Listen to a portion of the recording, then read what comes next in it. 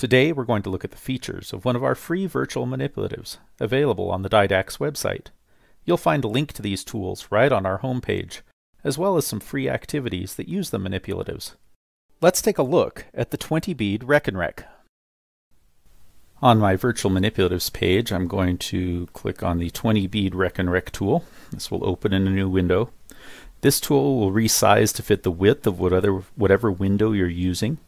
And so in this case, you can see it's running the whole width of my screen.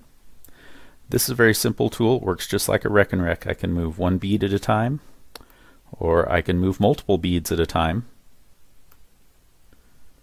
Uh, to compare numbers, to add, to look at patterns, um, place value, lots of different concepts we can explore with this. But otherwise, it is just a very simple interactive tool that's available for you to use here on our website.